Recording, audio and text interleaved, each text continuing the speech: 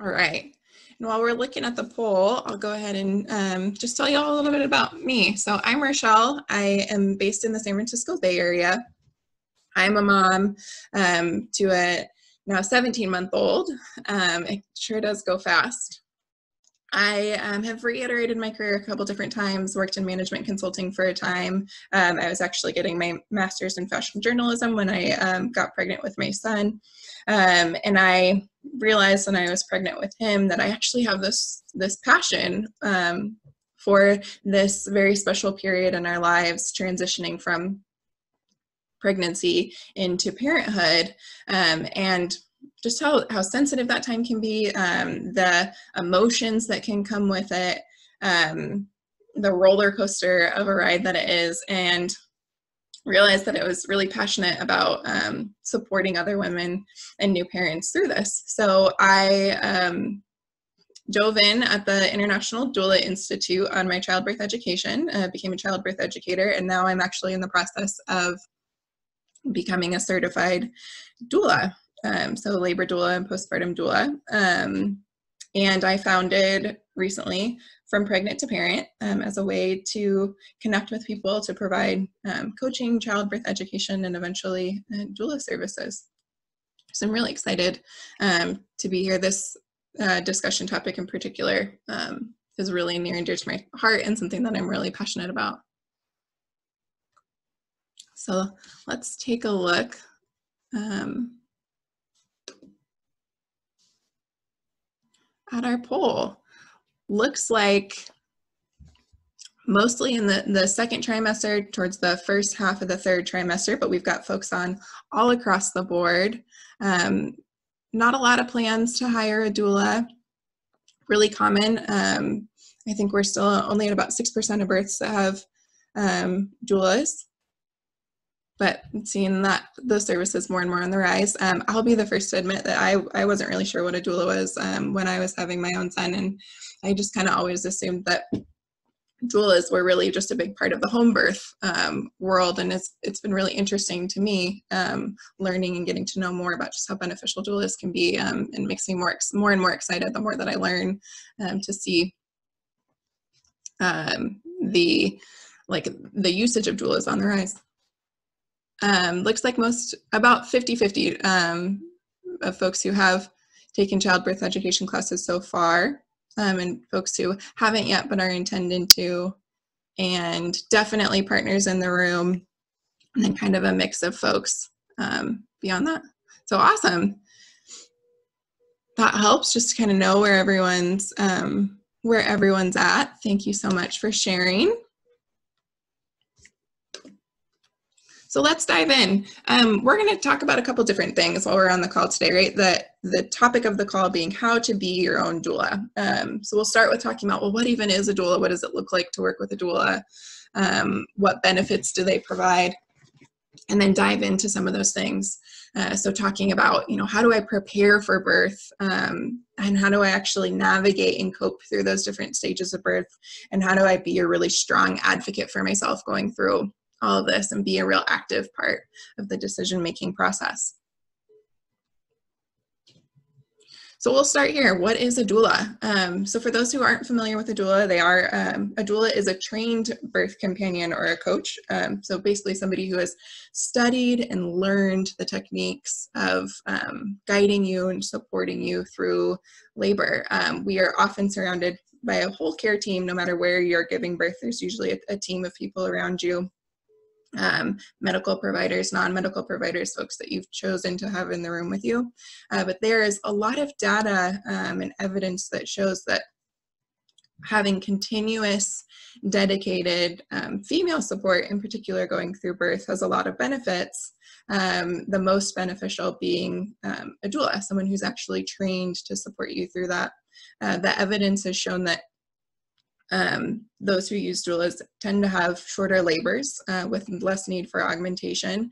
Um, so things like the, the use of Pitocin needing to um, induce or speed up labor. Um, more spontaneous vaginal births, so meaning that birth is happening more um, naturally um, I prefer the, the word physiologically, right? Like our, if our body's doing more when it's um, biologically, physiologically wants to do. So less vacuum extraction, less need for forceps, um, less C-sections, fewer requests for pain medication, and increased satisfaction with the childbirth experience. So maybe you didn't follow your birth plan to the T. Maybe it wasn't exactly the experience that you had planned for or that you had um, idealized, but you're able to look back on your experience with satisfaction and fewer babies with low APGAR scores at five minutes after birth. So APGAR scores are that score where um, a, baby is assessed at one minute after birth and again at five minutes after birth um, to assess what, what their wellness looks like. So are they pinking up? Are they breathing? Are they crying? Are they moving? Um, it's one of the best assessments that we have out there just to, in that initial moments to assess how how is baby doing um, in those first few minutes of life.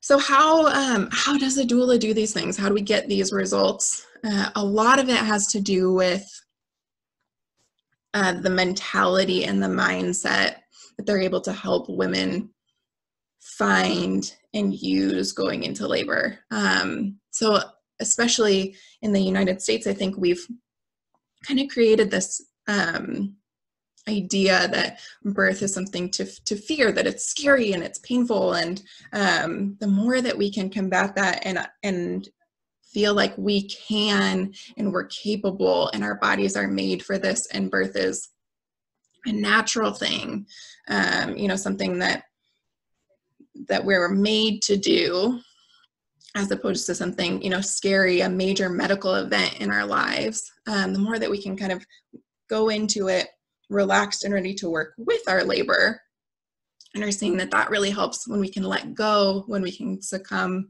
to our contractions. Um, it can help our body progress more effectively and efficiently. So, how do we do that? Um, the first thing is just by being prepared. Um, it starts with it starts before you even get into the delivery room. Uh, birth plans are the is the term that we hear most often, right? Having a birth plan coming into into the um, into labor and delivery, walking into the hospital. I much prefer the term birth preferences just because I think it helps with that mindset shift. Just by definition, a plan is a set of decisions about how to do something in the, in the future. So it almost implies that okay, if I come up with this plan, if I know what I'm going to do, this is going to have, this is going to be how it's going to turn out. It almost gives us this false sense of control um, we can't always predict what's going to happen in birth, um, but we can prepare ourselves. We can know what we prefer, what we'd like, what we choose, what we'd want um, in the event that we, you know, each time we run up to a decision point, um, you know, in the event that we have options. So, so what is it exactly um, to have a, a, birth plan or to write out your birth preferences? Um, one of the best ways to think about it is as a communication tool. So it's just a way for you to align with your care team so that they know um, what are your preferences, what would you like, what would you choose, how can they best support you, right? If they know, um, if they know what your goals are, if they know what their wishes are, if you, what they look, if they know what your wishes are, um, then they can better support you and guide you and steer you in that direction. Um, they're, like I said, a guarantee um, or not a guarantee of a specific outcome. It's not a contract, um, really just a communication tool and also a framework um, to guide your preparation. It gives you a good starting point, um, and a, like a good framework uh, to guide your research to help you think about the different things that could happen, the different options that you might have available, um, such as uh, laboring positions. I think when we think of medicated versus non-medicated birth, we think of with or without an epidural, but there's actually multiple um, options um, within that, right? Birth positions, I think we we tend to picture birth as, you know, on the back with the feet in the stirrups, but there's actually a wide range of positions out there. So just by sitting down and looking into it, thinking about what would I want, um, it really helps us to to prepare, gives us a framework to, to research and to look into different things. So why should I write them? Um, like I said, it helps so much with that mental preparation.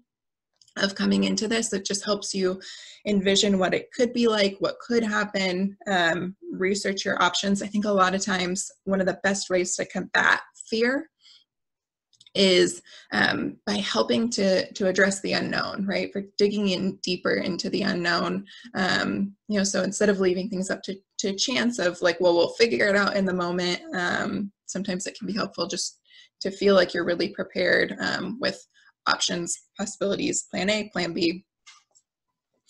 Um, they are also really helpful to confirm your expectations. Um, so when you're developing your, your birth preferences, it gives you, um, again, kind of almost a framework to have discussions with your care provider. Um, they can help kind of set your expectations. Maybe you want something that's actually not available at the place that you're um, giving birth. You you do your research and you think, oh, I'd actually really like to labor in the tub, and then come to find out that there's showers available, but maybe not a tub, um, or maybe something um, that you would really like to avoid a standard protocol. So it gives you a chance to have these conversations with your care provider uh, to align, make sure you're on the right, the on the same page, that you're um, realistic in your expectations, and confirm that you're really a good a good fit for each other.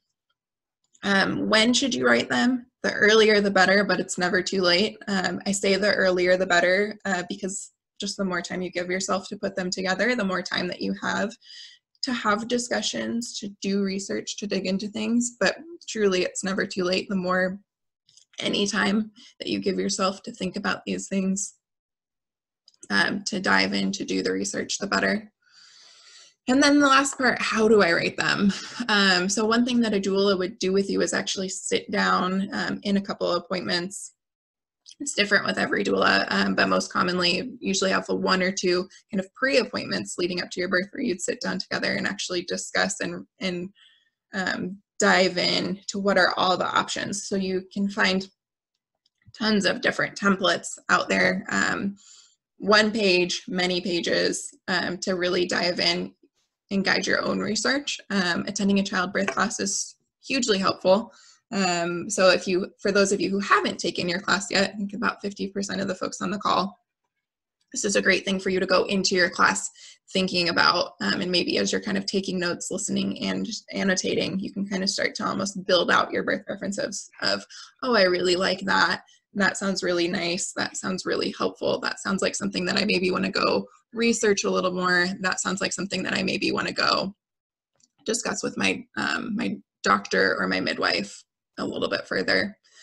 Um, one thing that I would encourage everyone though is if you when you do write out this your birth preferences, it might be this really long kind of exploration um, and and template that you end up filling out. When you go to your hospital, I think one thing that you can do, um, again, to just kind of set up one thing that your your doula would likely encourage you to do, um, and to kind of set yourself up for success once you walk into the room, and is um, have a short list ready. You know, what are those few things um, that are really important to you? What are those few things that um, you know is really like kind of a personal preference thing so for instance if if you are a person who really um, knows that you would like to have the, the lights low and maybe um, quiet voices, maybe not a whole lot of side conversations and that that can be kind of distracting for you. That would be something that would be really wonderful to, to put on your list to share um, with your, your nurses, your care team when you first get there or um, kind of earlier on in your labor to align you. Um, I can kind of pause there and just check in the in the chat before we dive forward. Any questions on birth plans or preferences? We'll have time at the end for, for questions too, but I just want to um, check in.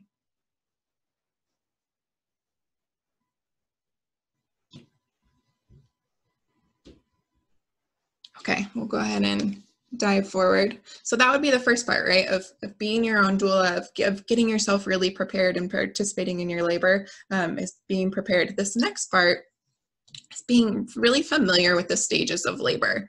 Uh, so I think that's one of the, the really wonderful things that um, a doula can do for you. And if your care team is aware that this is something that you want that you're familiar with that you know if this is a way that you want to cope and manage with your labor um, they can kind of help really uh, communicate and keep you updated with exactly where you're at in your labor um, so being familiar with the stages of your labor just helps you to kind of have milestones that you're reaching for when you're going through. Um, you know kind of destinations to get to to say okay i've crossed this next um, i've reached this next milestone this next checkpoint um, you know I've, I've i've made it onto the next one. And it kind of helps to break up this what can feel like this really long process of labor and childbirth. But if you're just kind of making it to the next checkpoint, sometimes that can help make it a little bit more manageable, just biting off one piece at a time.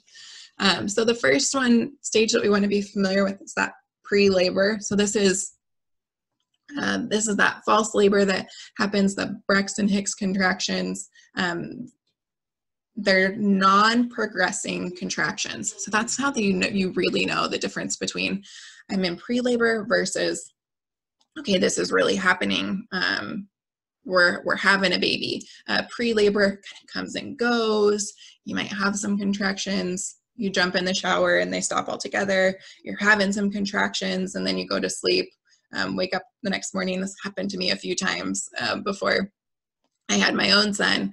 I remember one night in particular, I kind of said to my mom and my husband, and like, this is it. Like everyone, it was like nine o'clock at night. I'm like, okay, everyone, like, let's let's get to bed let's get some good sleep. I'm feeling these. I'm certain that these are them. Like they're going to start progressing. Like i bet i'm going to be waking you guys up in a few hours and it's going to be go time. And i went to sleep and i woke up the next morning so disappointed um, because it was the next morning and i had had no contractions and they had stalled out in the night. So that was pre-labor. Uh, they're still hugely beneficial because they're preparing your your uterus. They're preparing your body um, for what's to come, but they aren't progressing. They're not actually dilating. When we say progressing, they're not dilating contractions. Um, your contractions exist to actually help pull your um, cervix open and then to help expel the baby. Um, so when our contractions actually start progressing, that's when we go into dilation. And so dilation is that period. It's actually bro- that's broken out into the three phases which we'll look at a little bit closer here in a second. But this is that this is the actual progressing contractions where you're actually dilating um, and opening up. This can take anywhere from two um, to 24 hours once you're actually in it. Um,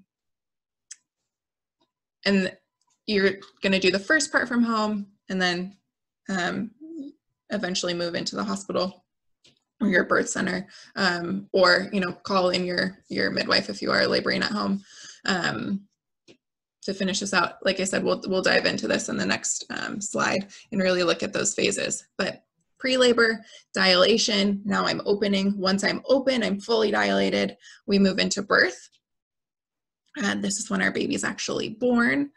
Um, about 15 minutes up to three hours or more is what you can expect um, for for this stage if you do um, get an epidural, this tends to be the portion of the birth that's really prolonged the most, um, just because it can interfere with your efficiency in pushing I mean, your ability to really like push with um, to, to, like kind of feel your body wanting to push, feel your body needing to push, um, and work with your body to push that baby out. Um, once the baby is out, next comes the placenta. So this is something that, that women don't always know um, comes next. So once I push that baby out, I'm not quite done pushing yet, but the placenta delivery is much, um, much easier than the birth of the baby. Um, usually happens around 10 to 30 minutes afterwards, and then you move into your recovering and bonding period about one to two hours afterwards. Um, so like I said, why does this matter in terms of actually coping with my labor, managing my labor? When we know what to expect, when we know what those stages are, it gives us checkpoints, it gives us milestones to work to. The phases of labor now, so this is where, or the phases of dilation, um, right? So we've gone from pre-labor, we're into dilation, getting ready for birth. My cervix is actually opening, is broken up into three parts. So um, early labor, active labor, and transition.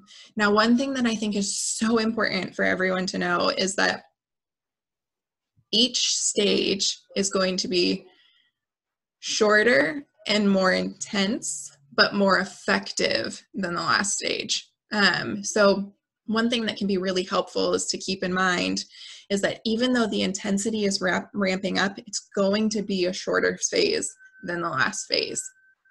So, for instance, um, you know, early labor, if we think about it, this is when we are typically we're talking, we're maybe laughing, we're cracking some jokes still, we're going with the flow. Early labor, you want to do at home for as long as you can.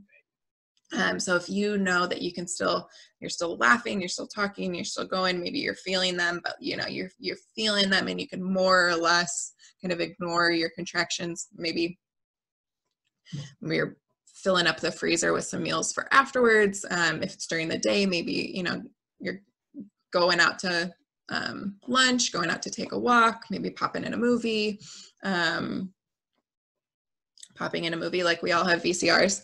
Um, that you know, there's you're you're doing things where you can kind of distract yourself. Um, now you might be using coping techniques in this. You might be feeling them um, a little bit more, and you know you might be starting to think about um, especially if this is your first time labor and you haven't really felt those true active labor and transition contractions, you know, you might already be kind of diving in on um, some breathing techniques, maybe some of the positions that you learn in your childbirth class.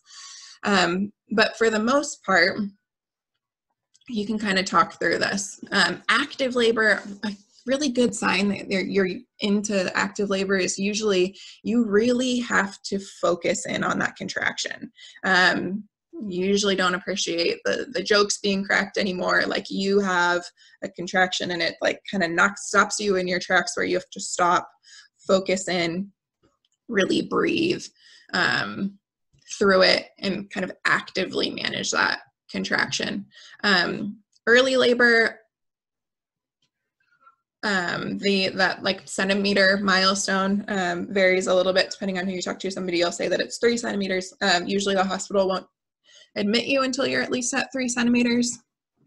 Um, but really six centimeters to eight centimeters is, is um, tends to be that true active labor um, period. So one thing that I um, would love for everyone to keep in mind going into your labor is whether you're planning to have an epidural or not, um, you should plan to labor without it for as long as possible. Uh, sometimes um, when we get epidurals too early, it can um, feel less less effective because you don't have that perspective of feeling what like really true hard contractions feel like. Um, so then an epidural isn't like a you know completely wipe out all pain. You'll still feel your contractions a little bit. Um, but if you've only experienced some light labor contractions, you might feel like your your epidural is not really working. Um, because you're you know they kind of feel the same way all the way through but in actuality they're becoming more intense they're becoming more effective so the longer that you can wait and kind of cope um, and let your body work and kind of work with your body and, and cope without that medication the more effective that that epidural will be down the road um, if you decide to get it. Um, this also just gives yourself a chance too to see maybe you maybe you just um, are afraid of the pain you're afraid of the fear and once you get into it and you see that you're you're capable and you're able to cope maybe you won't need it or you can put it off much longer um, than you had originally planned to. Um, another thing is if we get it too early that's typically also when we see that it's prolonging um, labor so try to push if you if you want an epidural. There's great instances for epidural um, for people who really have a hard time just like letting go and releasing and giving in. Um, it can can really initiate um, the fear, tension, pain cycle. So we're, we're afraid of the pain, so we tense up. That actually makes the pain more intense, which gives us more fear, makes us tense up more, gives us more pain. Um, so if you're just really having a hard time letting go, it can be really wonderful for that. Um, but work with your body as much as you can. This is one thing that, that doulas are really phenomenal at is just working with you to, um, you know, if you do get to that point where it's feeling too much, reminding you, you can, let's change positions. Let's try something else. Let's maybe go take a long shower. Um, to help combat that pain. And one thing that I want um, you all to keep in mind too is when we are um, physiologically coping with birth, our bodies are producing natural pain responses. So our body is producing oxytocin. It's a huge component of labor, of actually, you know, signaling your body to contract um, and to give birth. But oxytocin is it's that feel good hormone. It's um, that it's the love hormone, the sex hormone, the um, that makes us feel good. Uh, so it's actively helping us actually deliver this baby and it's also actively helping us cope. Um, so the less we interfere with that the more that our body's natural pain coping mechanisms can kind of kick in. Um, so you're not completely without pain medication. Your body is naturally going to help you um, cope with that. And so when you can work with that um, it, it, you're you'll you might be surprised to see how well your body is actually able to help you get through this um, so active labor shorter than early labor. Um, early labor, you might be in for for hours, um, maybe even the you know the better part of a day. Um, going into this active labor, um, you can expect to be in typically around four um, to eight hours, and then transition like about 15 to to 60 minutes. So it's really going to like I said, as you go through, you're really going to see phases become shorter because your contractions are getting more intense, more effective.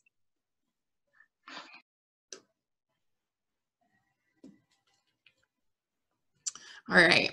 Um, once we get through that transition, that'll be the toughest part. But if you make it to transition um, without pain medication or even with pain medication, you make it to transition and you are close.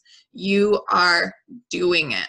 Um, and then you get here, we're ready to push. Some women will experience a resting phase when you get to pushing, um, where you're you'll actually have a lull um, while your your baby has shifted down and your uterus is kind of readjusting to baby's new position, and you'll actually maybe get a 10, um, 10 to 20 maybe um, minute lull as you before you move into descent. Um, but descent is when you actually feel that your body tells you you get this um, urge to push. Um, a warm compress can be, be really helpful for this to help you direct your push and also just to support your, your perineum. Um, and then um, baby kind of takes two steps forward, one step back, two step forward, one step back while we're going into descent. And when they're finally officially, their head is no longer retreating, we're officially crowning and then baby comes through and, and um, you're giving birth.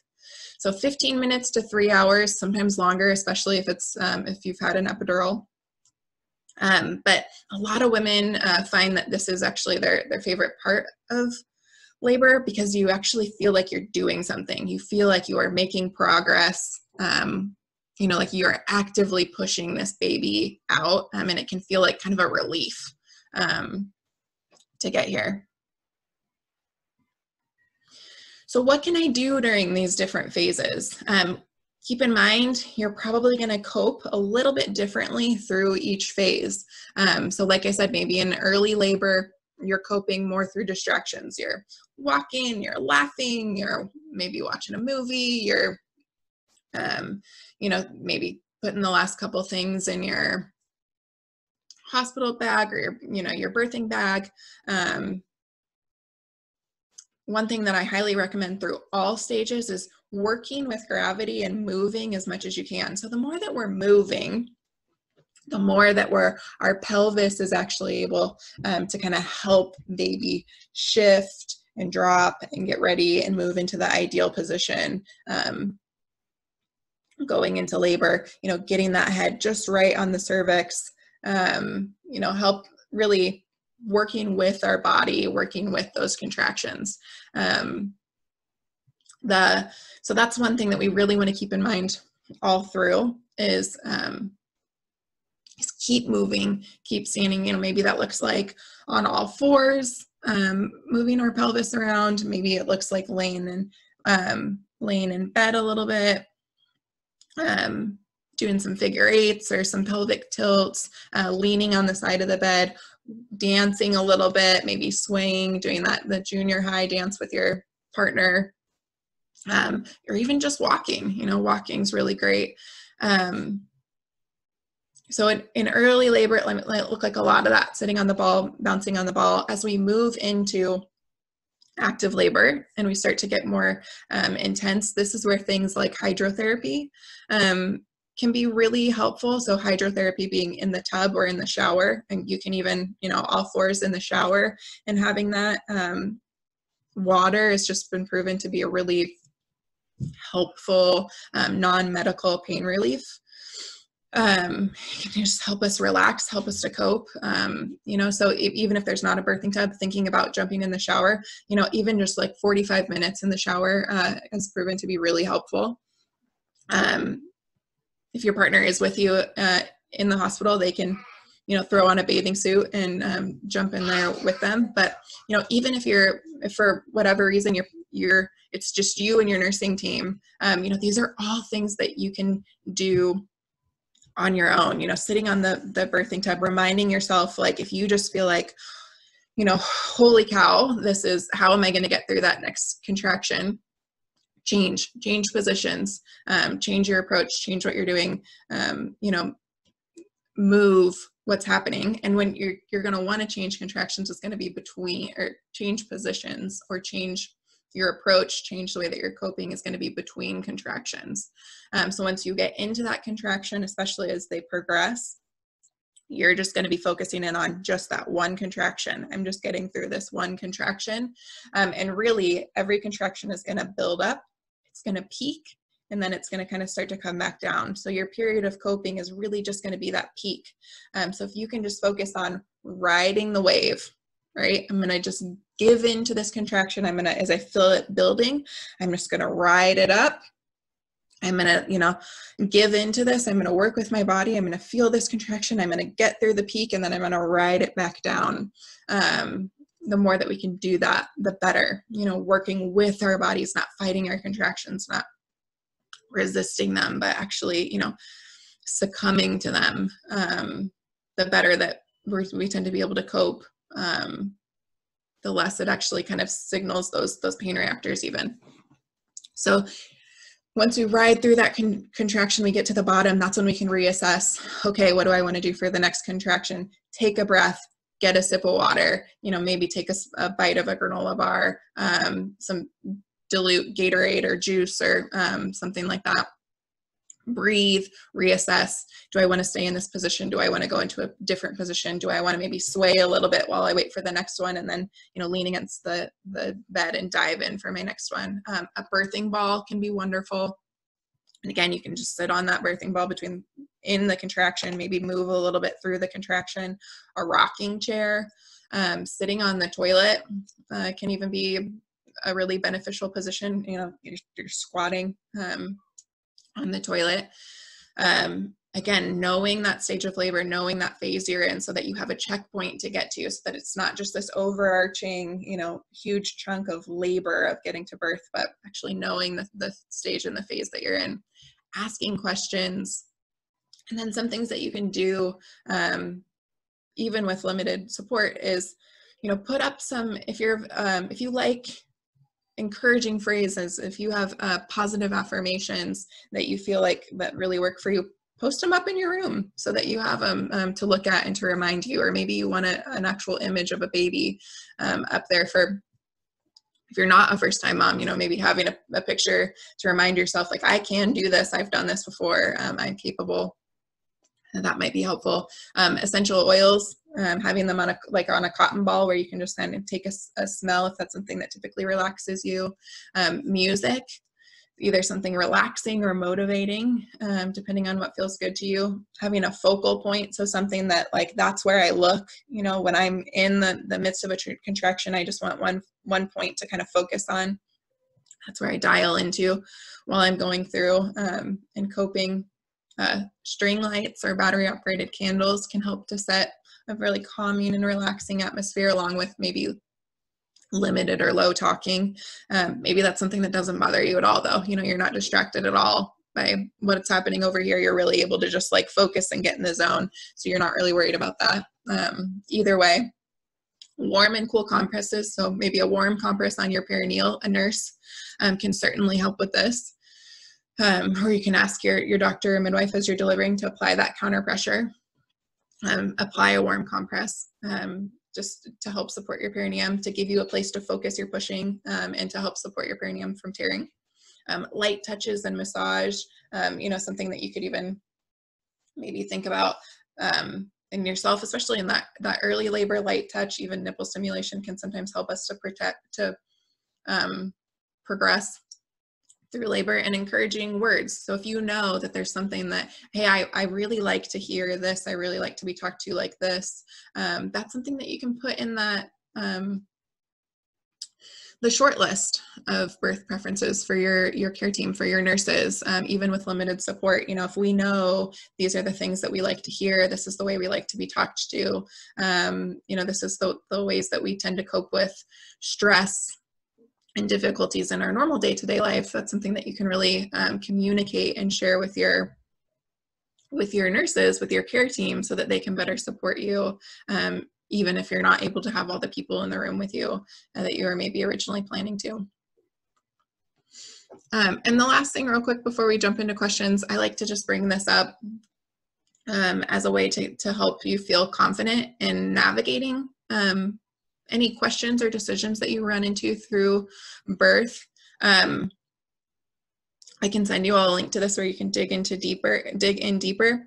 But a big part of um, having that doula in the room is that sometimes they're just able to be an advocate for you and help you to think through and make decisions. Um, I really like this framework of the brain. I think it's really easy to remember of if I'm making a decision, I'm using my brain. Um, so know that it's okay to ask questions when you're going through. And, and this is a, a, way that can really help you make those decisions. So you come up to a crossroads and the doctor asks you, do you, well, do you I want to do, um, do we want to break your water bag, for instance? The first thing you could start out by asking is, well, what are the benefits um, of doing this, either for me or my baby? So that's the first thing. B for benefits. Um, you know, why would we want to do this?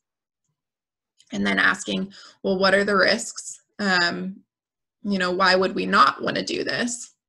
Are there any alternatives to doing this? Um, listening to your intuition and your gut, trusting yourself and knowing that, you know, if your gut is telling you one thing, listen to that, bring it up. Don't be afraid to voice that. You know, you don't need to, to, um, you don't need to stuff that down and defer to the the experts in the room you're the expert of your body you're the expert um, of you you know so it's okay feel empowered know that it's okay to ask questions um, and then um, Shweta, let's come back to your question. I see your question in the chat. Um, let's dive into that in a sec. But intuition, right? Listen to yourself. And then, and what happens if we don't do anything? Um, you know so knowing that that's perfectly okay for you to ask is well i um, i hear you you know that we're suggesting this. We've talked about the benefits we talked about the risks we talked about the alternatives. I'm not sure if i'm fully on board with this so what if we don't do this for the next five minutes for the next hour for the you know never? What if we never do this? Um so just know that you know it's it's okay um to speak up. You should be an active part, an active member of your care team. You're not just the central focus of it. Um, I think sometimes just having this framework, just having a way to, to defer back to, I think in the moment when we're making decisions, it can be, it can kind of feel overwhelming. Um, you know, the we're, we're, our, our minds are focused on our contractions, our minds are focused on coping, our minds are focused on getting through labor. Um, so if we've maybe role played some of this, thought about some of this, um, feel comfortable with this framework going into um, labor, then we can feel more comfortable in the moment. Um, if a question does come up, knowing, great, I know how to talk to my doctor about this. I know how to ask questions so that we can come to a decision together that I feel really comfortable with. Um, so we are going to dive into a little Q&A. Um, I am going to give you all of these in that um, recap email that I'm going to send out after this, the follow up email that's going to go out after this, um, so that you have it my email, my website, um, ways to connect with me on social. uh, so that we can keep in touch. Um, so please know that if we don't answer your question in here today, or if you come up with a question later, um, you can absolutely reach out to me. There's multiple ways to find me um, afterwards. Um, so let's dive in on, on some questions. Uh, Shweta, am I, I hope I'm pronouncing that right. I'm so sorry if I'm not, feel free to, to correct me. Um, but what are some of those labor positions is what, what she's asking. Um, lying on your back is not always the best um, position. It's the most common position. Um, my understanding of why it became this really common position to labor in is just because it's a really easy position um, for someone to deliver you in, but it's not always the best position because it doesn't always put your pelvis in a very optimal position um, for the baby. And you're also tend to be kind of fighting against gravity. Um, when you do have an epidural, you don't always have a lot of options um, for alternate positions because you aren't able to be up walking around. Um, you are essentially a you know a, quadriplegic for the moment you're kind of paralyzed from the waist down um, can't really feel or use your bottom half, but just something as simple as raising the head of the bed, putting some pillows back there, and getting your getting um, your top half elevated so that you can work with gravity um, can make a big difference. You know, and then from there, even like pulling our knees up to our chest. Now, when we pull our knees up to our chest, um, sometimes the the natural feeling I, I pull my knees up and I want to kind of throw my head back but you want to keep yourself tucked in. Um, you can even feel when you do that, right? That my my energy and my um, my strength is kind of coming up. But if I could keep my my head tucked in, my shoulders tucked in, working towards my belly, it able it really enables me to kind of get more here and here into pushing. Um, so if you, um, for those that haven't had a a baby before when we think of pushing what does pushing feel like? Um, you know how do i push effectively? Can think about um, kind of when you when you throw up you know that and that the way that you kind of tense here that's kind of where you're pushing from. Um, we also think about you know push like you're pooping. Um, people are so um, nervous first time moms especially really nervous about pooping on the table. And it's it really is true that if if you are if you poop during labor, it's a really good sign that you're pushing properly and that you're progressing properly. And anyone else in the room is going to see that as a sign of progress, that you're pushing effectively and that baby is coming. Um, if you're worried about pooping on the table, don't because it's only going to hold you back from pushing really efficiently and effectively. Um, just release, let it like let it go, give into it, um, and you know work with your body um, no, like I said, no one else in the room is going to um, care about that. They're only going to view that as a sign of progress um, and that you're doing it right. So um, push like you're pooping, you know, like and you want to get it out. That's kind of what what pushing feels like. A couple other um, labor positions is a really popular one is all fours, so hands and knees. Um, that can be really effective position for helping baby kind of get through the lip of the pelvis um, and out. That's a pretty optimal position um, to labor and deliver in. Um, on your side is another um, really wonderful position for delivering um, birthing stools, you know, actually sitting and squatting. Um, you can actually deliver your baby from that position babies have been delivered while women sit on toilets before even you know just being in that squatting position. Um, and then as far as laboring, similar thing, laboring on all fours, uh, laboring, leaning on the bed is a really popular one. Um, swaying, that, that junior high style, you know, arms around your, your partner, room there for belly, um, you know, getting those hips going, just kind of swaying um, with your partner and, you know, not swaying from the knees, really swaying from the hips. You really want to get that moving that pelvis um, so that you're really helping to work baby through. Almost think of it like, you know, wiggling a, a cork out of a wine bottle or something. You know, you kind of, we're wiggling, you're twisting. Um, that's kind of how baby's coming through your pelvis um, for labor. So we're just helping him, helping, helping that baby to, to ease in there, to drop into the pelvis and then um, work their way out. Um, so actually, you know, sitting on a, a ball or in a rocking chair is a great labor position. Um, you know, so just kind of sitting there and, you know, maybe bouncing a little bit, tilting a little bit, pelvic tilts forward, back, side to side, figure eights um, with your pelvis. I think one of the, the biggest things, try a bunch of different labor positions, feel them out. Um, having your if you do have your partner in the room with them you know having them actually climb into bed with you and support you um, from the back is a, is an option um, or supporting you you know as you're kind of squatting and sitting down on the um, on the floor. Um, but play around with them. Try some different positions before you go into labor and then once you're in it um, you'll kind of have that in the back of your mind of, of things that you can go back to but just listen to your body. Just feel your body. It might feel weird. You might like feel like i don't really know why but my body really wants to be on its side right now or um, you know i don't i don't really know why but i i want to like get up. I want to move. I don't want to be i don't want to be stuck in bed. Um, listen to your body and uh, just try to try to go where it goes and then you know try it for a contraction and if you get through a contraction and you're like that that didn't work i feel like there's a better way to cope with this. Try something new. There's um, no reason why you can't keep can't keep trying different things. And you can ask your um, ask your nurses in the room too you know they're they're um, been around for a lot of different labors so they've seen a lot of different positions. Um, another great thing to talk about with your care provider before you go into birth is will there be any restrictions on positions that I can labor in and positions that I can deliver in? Um, what what are my options? Will you be supportive of walking around, staying vertical, moving in and out of bed? Um, awesome, glad that was helpful. Okay, another question. I have very fast labors. My baby came three hours after my first contraction. I feel like I was in transition not long after I got to the hospital born less than one hour after getting there. How can I deal with them wanting to check me in, give an IV, and asking questions when I am um, progressing so quickly? Struggling to keep my anxiety down and focus on labor. Um, I had a rapid labor myself, um, so I know. Um, I know that it can sound like a dream and feel like a nightmare um, because it, it can be really hard to keep um, to keep up mentally with what's going on.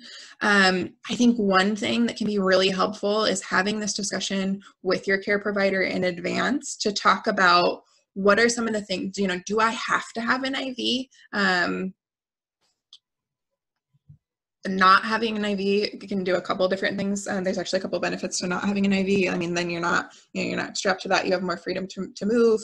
You know, talk to talk to your care provider about, you know, can we can we actually avoid this in case I actually, you know, don't need it? Um, it helps that you have delivered before so you can have kind of a more productive conversation of like, listen, we know that I have rapid labors. Um, you know, so so how can we kind of streamline this process? I think one thing that can help is just that's, you know, have your short list or have your your your your script kind of more or less ready to go so that when you are checking in, you know, it's hi, I'm, you know, hi, I'm I'm Brittany. I'm I have rapid labors, like my last one went really fast. Um, you know, this is where I'm at, and being able to really clearly communicate, you know, these are the, the contractions I'm having, this is how fast they're coming, this is how far apart they are, um, you know, this is how quickly that that we've um, progressed, and like this is what I need right now. Um, you know, and and speaking up for yourself and not being afraid to speak up for yourself and say hey this is what i need right now um, you know or you know how how quickly can we get to to this? Um, you know how, how much can my partner do of the checking in and just having that game plan with your doctor because uh, things are going to kind of vary a little bit from hospital to hospital from birthing center to birthing center. Um, so i think the big the biggest thing is just feeling really comfortable asking questions um, advocating for yourself and sharing what you need. I hope that's helpful.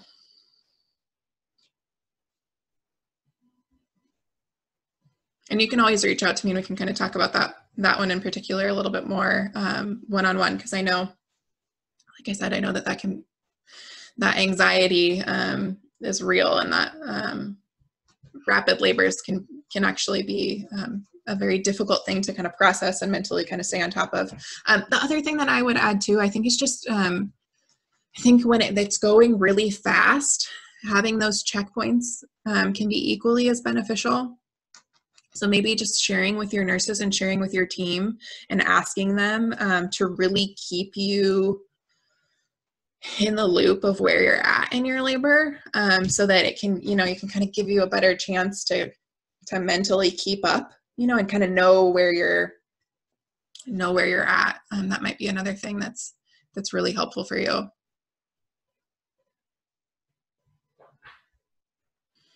Yeah, definitely. Um, I definitely can relate to how, how rough a, a rapid labor can be. So def- feel free, please uh, reach out if you if you want to chat through more. I'm more than happy to. Even just venting and relating, uh, I know that can be helpful. Any other questions for me? We've kind of gone over time a little bit, but I don't mind hanging around for um, a few more questions.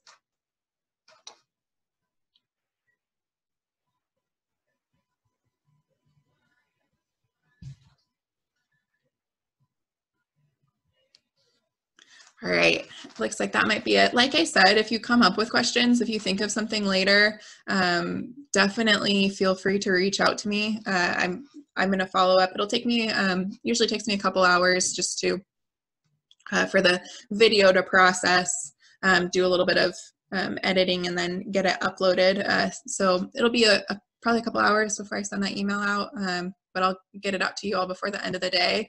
And that'll have my contact information, um, the link to the recording where you can come back and revisit. I know this is a lot of information in a short period of time.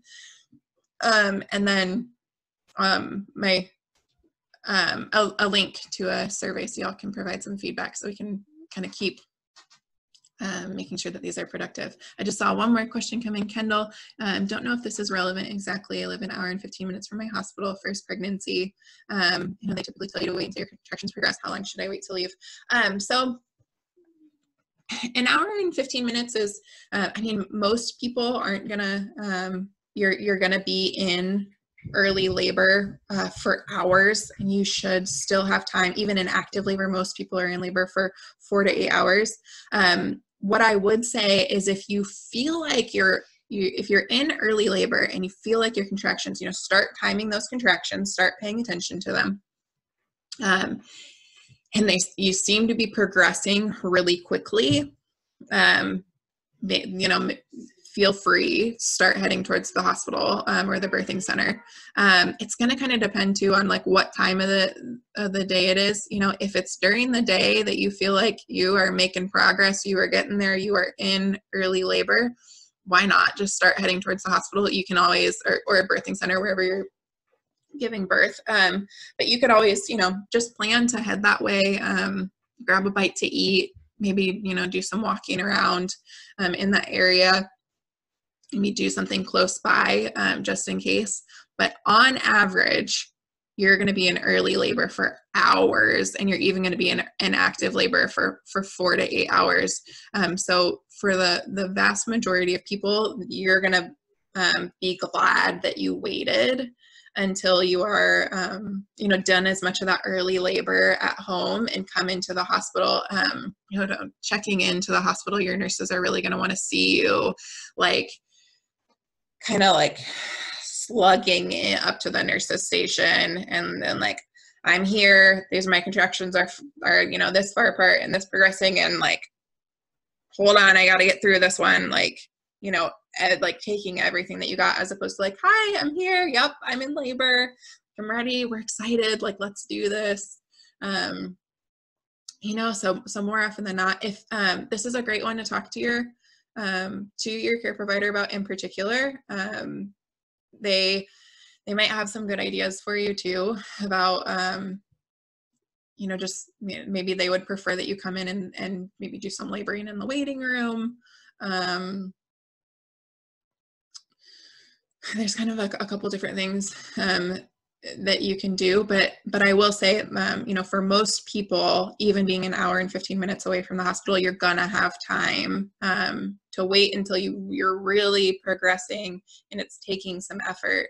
Um, you know maybe you you don't wait all the way until you're like i can't talk through this like i'm i'm absolutely in active labor you know but like they're really like give yourself time until they're they're like they're really strong they're really getting there. You've had some time to to know that they're sustained.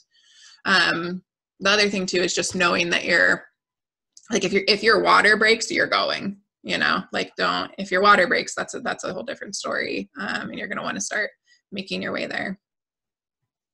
Um i wasn't allowed Saniha, I think is that how I pronounce it. I'm sorry if I'm saying it wrong. Um, I wasn't allowed to eat anything but ice chips with my first pregnancy. So we're starting to see this um, change more and more. Um, that the, the the data supports that it's more beneficial for a woman to get a little bit some light um, nourishment during pregnancy than um, than not eating at all. But it, it's kind of a kind of an old school approach um, to just do the ice chips, um, and it's it's because of a concern with um, if you have to go under anesthesia. The concern is that you could aspirate. Um, so and you're you're probably not going to want to eat a big meal anyways you know so the definitely don't eat a huge meal once you're in labor. Like get something in your stomach you know eat a sandwich. You're in early labor you know you know you're getting there. Have a sandwich you know have something get some nourishment in your body whatever whatever sounds good to you to eat get that nourishment in there before you go into the hospital. But once you're in the hospital this is a great thing to talk to your care provider ahead of time.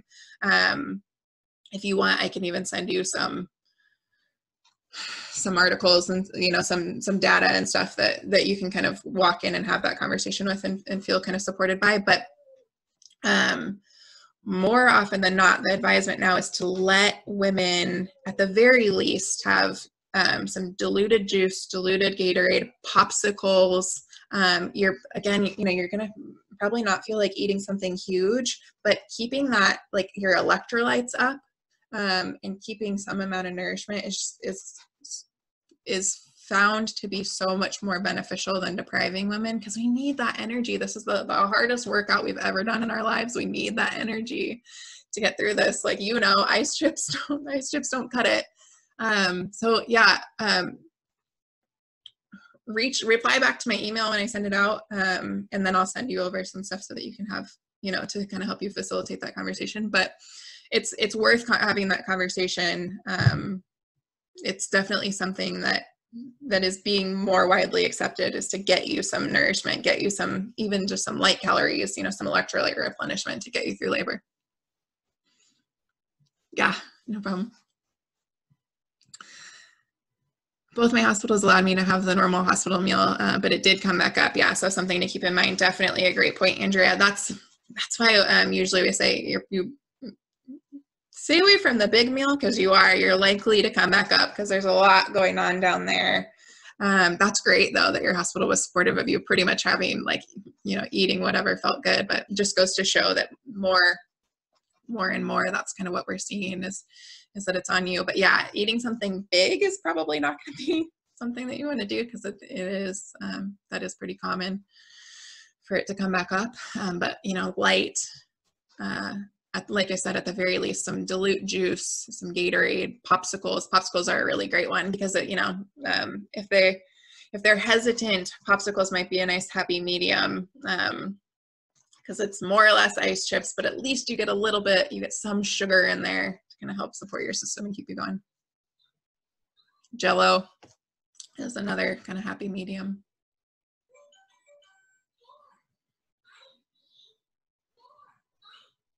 All right, I think we'll go ahead and um, end the call. But like I said, I'm, I'm here. Reach out anytime. Um, I'm available for, for one-on-one support and coaching as well if you need any support with developing birth plans or talking through in more detail different labor positions, um, you know, talking through and game planning more specific to your, um, to your situation um, you know, based on your hospital policies and rules as, as far as support and who's allowed in the room. Um, more than happy to, to brainstorm with you more individually on how you can support um, yourself or you know maybe you were planning to have a doula and now you're only able to have your your partner or maybe you wanted your partner and and a sister or a friend or um, you know somebody else in the room a family member a mom in the room with your partner um, and you want to just brainstorm a little bit more um, you know how can i what can we do as a partner? How can my partner and i be prepared so that he can support me or um, or she can support me more effectively more efficiently now that i'm not you know going to have as many people in the room? But i'm so glad this is helpful. I, I love to hear that. Um, like I said, I'll, I'll, get this email out to you um, so that you can come back and revisit so that you have my contact information. Um, you should be able to just reply back. If you've got a, a burning question or something you don't want to wait for the email you should just be able to reply back to the emails that you've gotten that had the meeting room information the the event reminders. Um, so if you don't want to wait you can reach out to me that way. Um, but i'm so appreciative of you all for joining. I, I love having the opportunity um, to support you and and to provide to provide some of this the information. So i'm so glad to hear that it was helpful. Um, thank you all for taking the time uh, to join me and I'm sending you all well wishes and happy thoughts for for wonderful, satisfying um, childbirth experiences. And I'm here. Hopefully, I'll be connecting with and seeing you all again. Have a wonderful day.